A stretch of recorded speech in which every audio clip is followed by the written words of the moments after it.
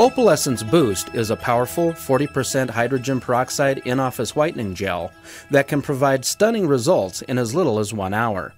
In this video, we'll show you step by step how to get maximum whitening results with Opalescence Boost safely and effectively. Before beginning the procedure, bring Opalescence Boost to room temperature. Determine the baseline shade of the patient's teeth with an Opalescence Shade Guide card. Give the patient protective eyewear to wear during the procedure. For added security, tie a length of dental floss through one of the holes in the isoblock to prevent accidental swallowing. Place a self supporting lip and cheek retractor, followed by the Ultradent isoblock. Instruct the patient to hold the isoblock in place with gentle but firm biting pressure. Completely rinse and air dry the teeth. Now you're ready to place the resin barrier. Start by removing the Luer lock cap from the Opal Dam green syringe and securely attach a micro 20 gauge tip. Verify flow prior to placing intraorally, then express a continuous bead of Opaldam green along the gingival margin, overlapping approximately 0.5 millimeters onto the enamel. Extend the resin one tooth beyond the last tooth to be bleached, and continue building the barrier apically until it is 4 to 6 millimeters high and 1.5 to 2 millimeters thick. Visually check that all gingival tissues at the resin margin are covered and that a good seal is established. Using the mouth mirror, look up the long axis of the teeth and reapply the resin to any minute openings. Light cure the resin for 20 seconds per arch using a scanning motion. Carefully check the resin cure with an instrument. With the resin barrier cured, you're ready to apply Opalescence Boost to the prepared teeth. Because Opalescence Boost is chemically activated, it needs to be mixed just prior to placement. Before mixing, check that the red plunger is securely attached to the clear plunger. Depress the red plunger, forcing the contents of the red syringe into the clear syringe. Quickly and forcefully depress the small clear plunger into the middle small clear syringe to rupture the internal membrane. Doing this combines the bleach and activator. Continue depressing the clear plunger so all the gel is in the red syringe. Reverse the action and mix a minimum of 25 times, 12 to 13 times on each side. Be sure to finish with all the mixed gel in the red syringe.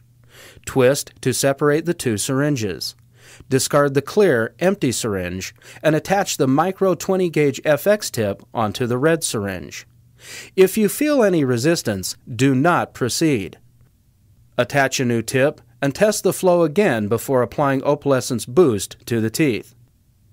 Apply a layer of Opalescence Boost approximately 1 mm thick over the labial surface of the teeth to the incisal and occlusal surfaces.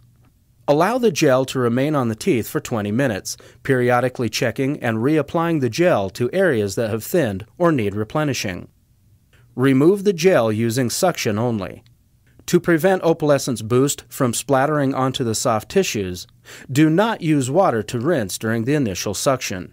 Suction the gel from the teeth using the Luer vacuum and Surgitip or a surgical suction tip.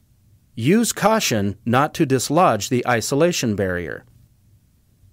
Tip Clear suction periodically with water. Evaluate the shade change after each application and monitor the patient for any sensitivity issues. Repeat application one more time or until the desired results are achieved. Do not exceed three applications per visit. Suction gel from teeth using the Luer Vac and Surgitip or a surgical suction tip, then thoroughly rinse teeth with an air water spray and the high volume suction. Once the desired shade of white is achieved, use a dental instrument to remove the cured Opaldam resin barrier. It will easily come off in one or more large pieces. The total procedure, including setup and isolation, typically lasts 60 minutes. This includes two 20 minute applications of Opalescence Boost for a total of 40 minutes of whitening time. Be certain to read the product instructions, warnings, and information for the patient contained in the package and advise the patient accordingly. Many clinicians who provide in office bleaching follow up with at home tray bleaching. This assures further bleaching distally on the arch to achieve the ultimate level of whitening. The patient should wait 24 to 48 hours before beginning an at home whitening treatment. You can choose to make a custom tray for the patient to use as a follow up, or you can use preloaded Opalescence Trèswhite Supreme trays, as they require no additional impression, models, or lab time.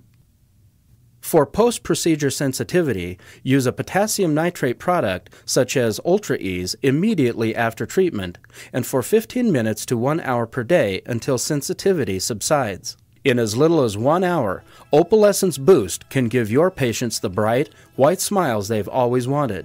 Opalescence Boost is a professional tooth whitening product applied only in the dental office by a licensed dental professional. Call 800 552 5512 or visit ultradent.com to learn more.